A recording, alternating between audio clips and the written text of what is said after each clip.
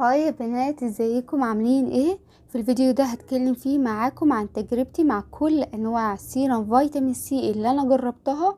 في أنواع موجودة عندي حاليا هكلمكم عنها وفي أنواع أنا كلمتكم عنها قبل كده بس خلصانة من عندي حاليا برضو هكلمكم باختصار عنها.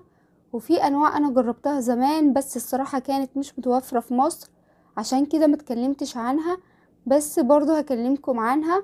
فأنا في الفيديو ده هكلمكم عن تجربتي مع كل الأنواع اللي أنا جربتها من serum vitamin C أفضلهم وعيوب ومميزات كل نوع فيهم. فلو حابين تعرفوا وتابعوا معايا الفيديو للآخر وما تنسوش لو عجبكم الفيديو تعملوا لي ال like وال share وال subscribe عشان يوصلكم كل الفيديوهات الجديدة اللي أنا بقدمها. ويلا بينا على الفيديو.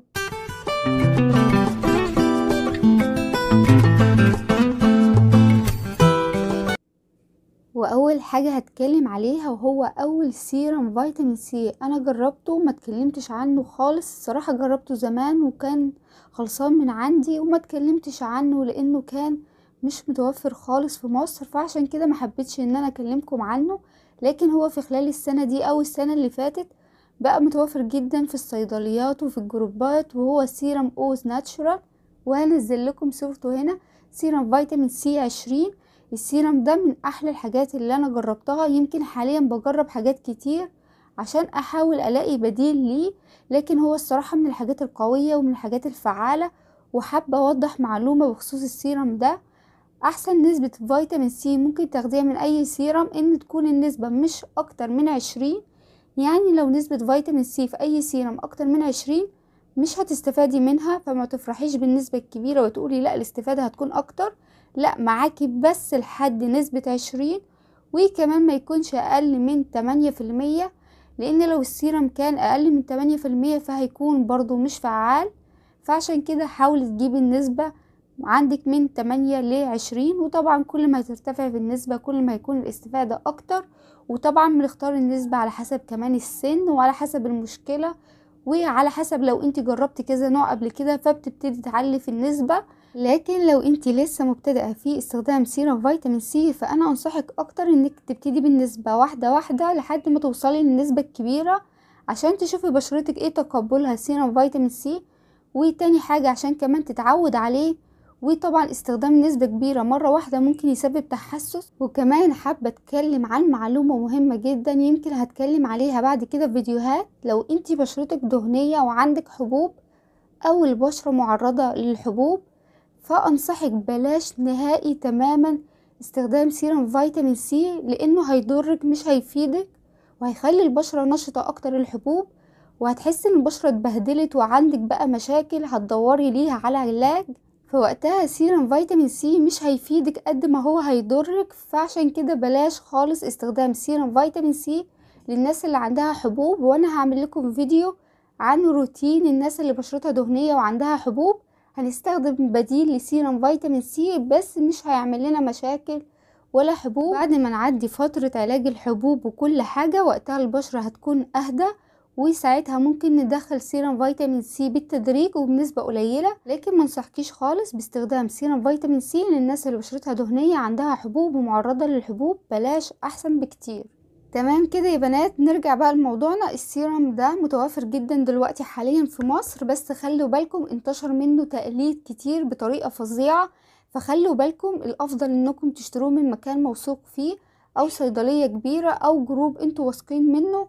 ولو مش هتقدروا تشتروه من مكان موثوق فيه أو من صيدلية كبيرة فأنا هنزل لكم صور على الإنستجرام في ال story أو على اليوتيوب في ال story إزاي تعرفي الفرق من التقليد والاصلي؟ وهنزل لكم الفروق اللي بتكون فيها العلب تقليد عشان لو هتشتروه من مكان تكونوا متأكدين قبل ما تدفعوا الفلوس إن هو فعلا أصلي خصوصا إنه سعره غالي. وخلوا بالكم من الأسعار اللي بنشوفها 250 و 300 فده من غير ما تشوفي أي حاجة ده معروف أكيد إن هو تقليد. تمام كده؟ وتاني نوع serum vitamin C. أنا جربته وهو سيرم من شركة مونتيل. والسيرم ده موجود في كل الصيدليات والسيرم ده من شركة فرنسية. السيرم ده أنا شايفة الصراحة إن هو سعره غالي والكمية بتاعته قليلة فمنصحش بيه بصراحة. هو فعلا النتيجة بتاعته كويسة وبيجيب نتيجة حلوة ونتيجة سريعة لكن الصراحة ما يستاهلش إنك تدفعي 900 جنيه في سيرم 15 ملي على فكرة هي العبوة حجمها كده بس هي فاضية. السيرم بس بيكون موجود في العبوة الذهبي الرفيعة اللي من جوه فهو بالظبط 15 ملي فعشان كده الصراحة أنا السيرم ده منصحش بيه نهائي فعشان كده أنا من وجهة نظري أنا شايفة إن المبلغ ده ممكن تجيبي بيه نوعين سيرم ويكونوا كويسين وفعالين يعني ممكن تجيبي مثلا نوعين من شركة The Ordinary بنفس التمن أو تجيبي مثلا نوعين من Oz Natural وفعلا هيكونوا كويسين وحلوين.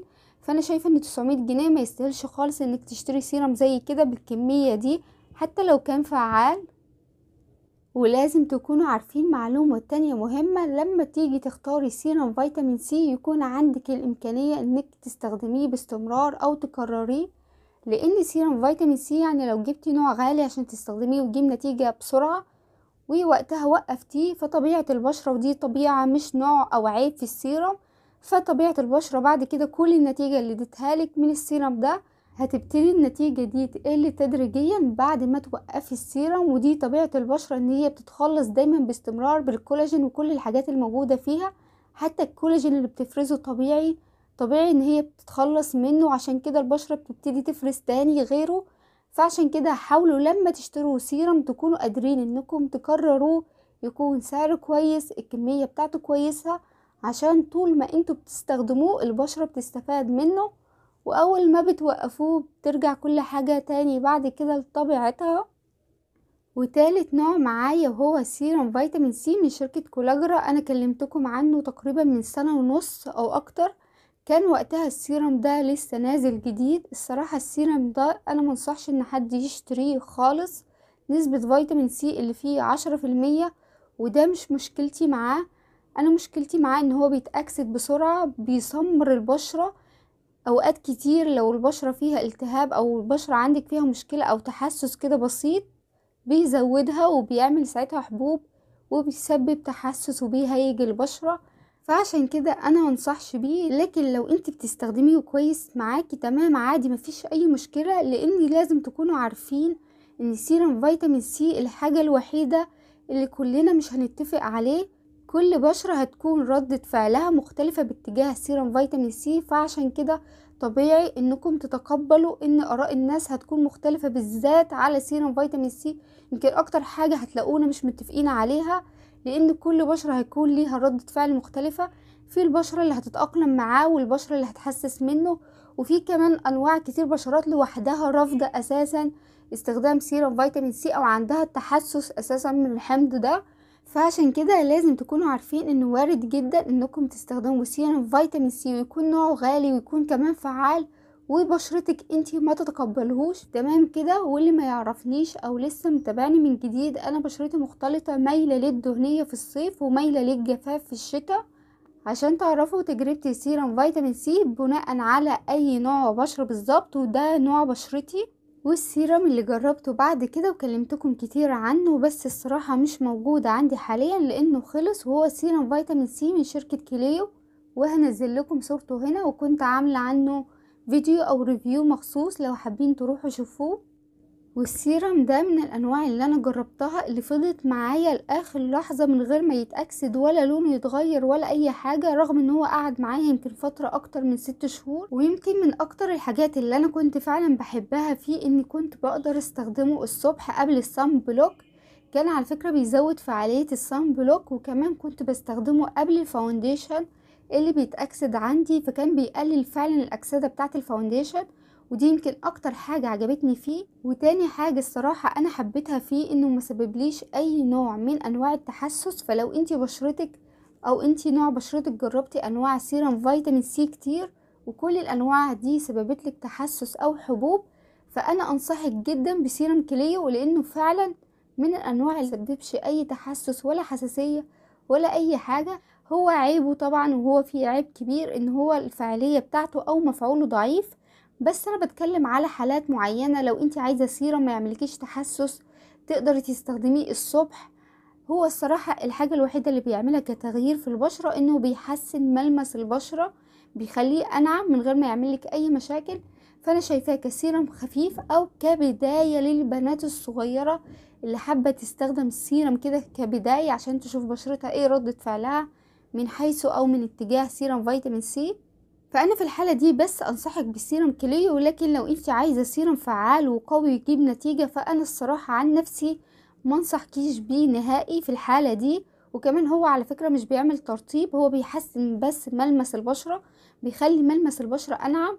ولازم تكونوا عارفين إن كل سيرم فيتامين سي مش مطلوب منها إنها ترطب البشرة هي بتشتغل بس داخليا ملهاش دعوة خالص بالطبقة الخارجية للبشرة. بالعكس لو السيرم قوي ممكن يعملك جفاف ويعملك قشور. عشان كده إحنا بعده بنستخدم كريم مرطب. ولو ما استخدمتيش كريم مرطب بعد سيرم فيتامين سي فوارد جدا إنه يعملك مشاكل ويعملك قشور ويعملك جفاف شوية في البشرة عشان تكونوا عارفين سيرم فيتامين سي ما هو إلا حمض مقشر. فلازم بعده طبعا يكون فيه كريم مرطب. والسيرم اللي جربته بعد كده هو سيرم كليو الليلي وسيرم كليو الليلي ده سيرم تفتيح أكتر ما هو فيتامين سي. نسبة فيتامين سي اللي فيه قليلة جدا. موجودة في مكون من المكونات بتاعته. تاني مكون هو فيتامين سي بس مش محددين النسبة. سيرم كليو صراحة من أنواع السيرم اللي عندهم اللي عجبتني ويمكن عجبني أكتر من سيرم فيتامين سي نفسه لأن السيرم ده بيدي كذا حاجة لكن سيرم فيتامين سي كليو مش بيديكي غير كام حاجة بس بسيطة. لكن السيرم ده فعلا بيرطب البشرة بالليل حلو جدا. في كمان مادة النايسيناميد فبيساعد كمان معاكي لو عندك كام حباية كده تحت الجلد إنهم ينشفوا بسرعة. بحس معاه فعلا إن هو بيشد البشرة. آه بيشدها بنسبة قليلة لكن فعلا لاحظت مع كتر الاستخدام طبعا مع فترة طويلة مش فترة قليلة إن هو فعلا بيشد البشرة.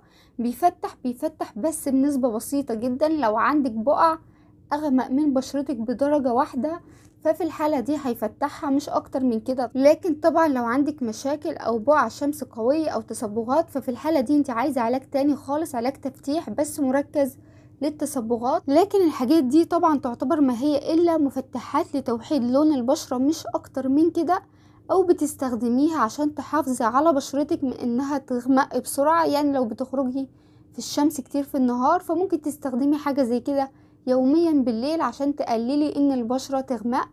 مش أكتر من كده بس هو الصراحة من الحاجات اللي فعلا عجبتني.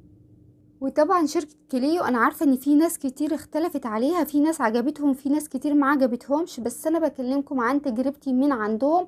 أنا ما جربتش من عندهم غير ثلاث حاجات السيرم الليلي وسيرم فيتامين سي والكريم النهاري وقلت لكم قبل كده إن الكريم النهاري من عندهم ما عجبنيش لأنه كان ضعيف في التفتيح وكمان كان ضعيف في الحماية من الشمس. لكن مجربتش من عندهم أي حاجة تانية فأنا بتكلم بس عن تجربتي مع النوع اللي أنا جربته مش أكتر. تمام كده؟ والسيرم اللي هتكلم عليه بعد كده بس هو الصراحة خلصان. ده مش السيرم أساسا اللي جوه العبوة أنا كان عندي عبوتين من السيرم ده وكنت عاملة عنه فيديو لو حابين تشوفوه. ده سيرم بوتك فيتامين سي وده بيكون اسمه بس اللي موجود حاليا جوه العبوة مش السيرم خالص. أنا حاطة هنا لوشن مرطب وحاطة معاه زيت البرتقال لكن العبوة دي أنا أصلا كانت خلصانة عندي وكنت مخلصة واحدة تانية قبل كده. وهسيب لكم صورة الفيديو هنا. السيرم ده أنا لما اشتريته كان لسه نازل جديد فكان لون السيرم أبيض جدا. جاتني أسئلة كتير بخصوص السيرم ده. فعلا لاحظت كل الناس اللي اشتريته أو كل البنات اللي اشتريته الفترة الأخيرة إنه لونه بقى أبيض على pink فأنا مش عارفة هي الشركة عدلت مثلا في المنتج نفسه ولا المنتج هو هو ويغيروا لونه. أنا الصراحة ما عنديش أي فكرة عن الإصدار الجديد اللي نزل حاليا اللي لونه مختلف لكن أنا اتكلمت عن الموجود عندي وقلت لكم رأيي فيه إن هو بيرطب ترطيب حلو ومناسب للبشرة الدهنية أو المختلطة. ما حسيتش معاه إن هو مفروض سيرم بوتك ده سيرم بديل للفيلر. ما حسيتش معاه خالص بالموضوع ده نهائي ما أثرش ولا واحد في المية في أي حاجة عندي بخصوص إن هو بيملى الوش أو بيملى الخطوط. لكن هو كمان من الأنواع اللي مسببتليش أي تحسس ولا حبوب ولا أي حاجة امتصاصه سريع جدا خفيف جدا. أنا الصراحة مش عارفة ممكن يكونوا هم عدلوا الفورمولا الأخيرة اللي نزلوها عشان في ناس كتير اتكلمت وقالت إن هو مش فعال. فممكن يكون أو جايز يكونوا إن هم فعلا خلوه أقوى أو عدلوا الفورمولا بتاعته. لكن أنا الصراحة ما عنديش أي تجربة على الفورمولا الجديدة اللي نازلة منه اللي هي لونها أبيض على pink سنة وهنزل لكم صورتها هنا.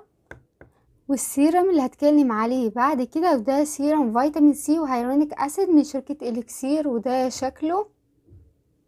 شركة إليكسير شركة بتبيع منتجات طبيعية بتعملها handmade السيرم ده أنا هكلمكم عن رأيي وتجربتي معاه. أول حاجة السيرم ده سعره 230 لكن الصراحة الكمية بتاعته 15 ملي الكمية بتاعته قليلة. السيرم ده مش مكتوب عليه أي مكونات فأنا مش عارفة المكونات اللي معمول بيها السيرم ولا نسبة فيتامين سي اللي فيه كام. بس اللي لاحظته أو اللي عرفته بما إني بستخدم زيوت كتير وكنت بعمل حاجات طبيعية زمان السيرم ده فيه زيت الورد. وأنا هوريكم شكله من جوه بس هرجه الأول. وزي ما أنتوا شايفين لونه أصفر فاتح جدا. قوامه شوية تخين حاجة بسيطة وطبعا ده بسبب ال hyaluronic acid الموجود فيه. وزي ما أنتوا شايفين القوام بتاعه تخين شوية بسبب ال hyaluronic acid اللي هما حاطينه في السيرم ده.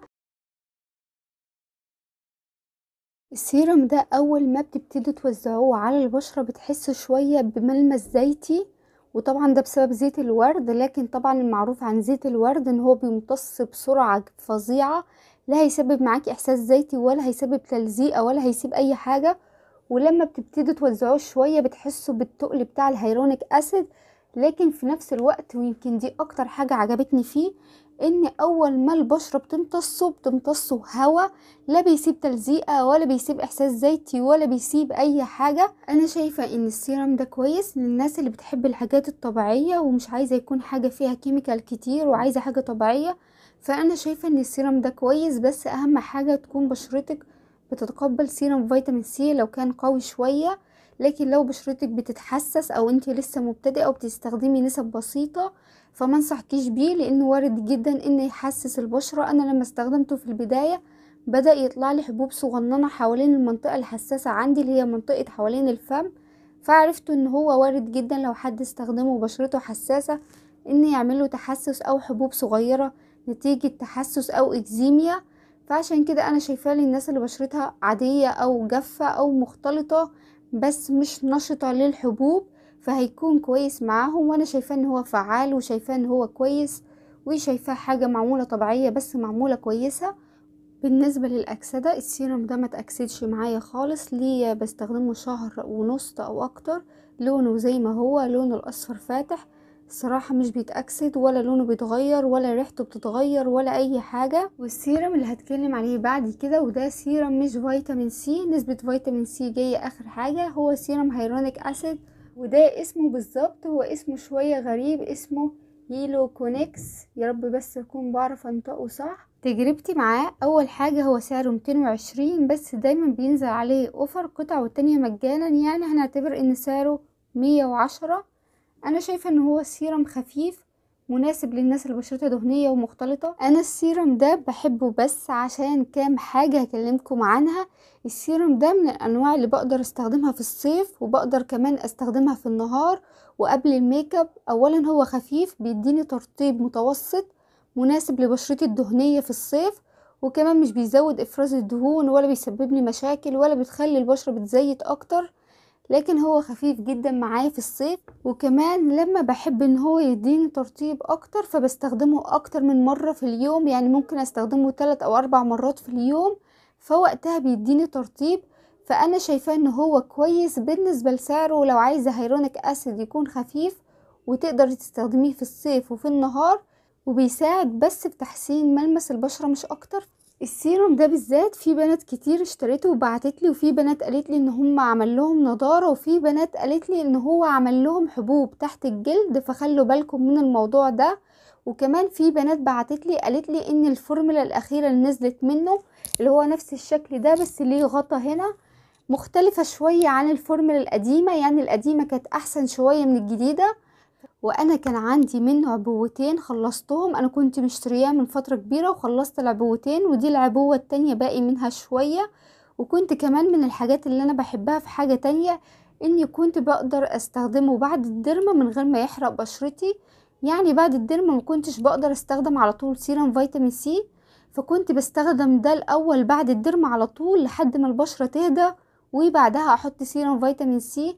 فأنا الصراحة لحد دلوقتي مترددة إذا كنت أشتريه تاني ولا لأ بس هو الصراحة كان بينفعني في كام استخدام. فقولولي إيه رأيكم لو حد جربه. وآخر سيرم معايا واتسألت عنه كتير قبل كده وده يمكن أول مرة أتكلم عليه ما عملتش عنه فيديو لأن الصراحة هقول لكم ليه دلوقتي. وده سيرم فيتامين سي من شركة فارما سيرز والسيرم ده نسبة فيتامين سي اللي فيه خمسة في المية. والسيرم ده أكتر سيرم تفتيح يعني هو أصلا سيرم تفتيح والنسبة دي بس هتعملك كعامل مساعد في التفتيح مش أكتر. وتاني حاجة عشان أكون برضو أمينة معاكم السيرم ده فيه فيتامين اي ومن الحاجات الحلوة جدا لو لقيتوها موجودة في السيرم بتخليه ما يتأكسدش. وفعلا العبوة دي ليها سنة عندي من غير ما السيرم يغير لونه ولا ريحته ولا أي حاجة. أنا السيرم ده ليه كام تعليق عليه؟ السيرم ده أنا شايفاه حلو للناس اللي بشرتها جافة أو عادية السيرم ده زيتي مش سيرم مائي. فأنا كبشرة دهنية لما استخدمته في الصيف الصراحة كان بيرطب حلو كسيرم زيتي بس كان بيضايقني بيخلي فيه إحساس كده زيت على البشرة والبشرة ما امتصتهوش. وبعد وقت كده من استخدامه تقريبا بعد أسبوعين أو ثلاثة بدأت ألاحظ إنه بدأ يزود لي الحبوب فعشان كده أنا ركنته وما استخدمتوش تاني فطلعته تاني عشان أستخدمه لأني في الشتا بشرتي بتكون جافة وبكون محتاجة حاجات تقيلة أكتر طبعا من اللي كنت بستخدمها في الصيف فعشان كده طلعته حاليا وبستخدمه هو زيتي زي ما قلت لكم لو انت بشرتك جافة هتحبيه جدا لو انت عندك أماكن فيها قشور هتحبيه جدا. لكن لو انت بشرتك دهنية وعندك حبوب هتكرهيه جدا حرفيا. أنا كرهته فعلا في الصيف لكن في الشتاء باخد منه بس نقطتين بالكتير وبعمل بيه مساج لحد ما البشرة تمتصه. بيرطب بشرتي تاني يوم كويس بيفتح بس تفتيح يعني مش التفتيح القوي عشان أكون صريحة معاكم. لكن بخصوص الفيتامين سي اللي فيه فهي نسبة طبعا قليلة جدا. أنا شايفاه سيرم مرطب للبشرة الجافة وسيرم زيتي للناس اللي عندها جفاف أو قشور وطبعا هيساعد معاهم في تفتيح أو توحيد لون البشرة لأنه أساسا سيرم تفتيح مش سيرم فيتامين سي. ففي الحالة دي استخدميه خصوصا إنه بيرطب حلو جدا في الشتاء. فعشان كده أنا بستخدمه بس الصراحة في الشتاء وهتحبوه كمان أكتر في الشتاء. وده كان رأيي وتجربتي مع كل أنواع سيرم فيتامين سي اللي أنا جربتها. ويا رب يكون الفيديو عجبكم وتكونوا استفدتوا. ولو حابين تسألوا عن أي حاجة اكتبولي تحت في التعليقات وأنا برد على كل التعليقات. وشكرا ليكم. مع السلامة.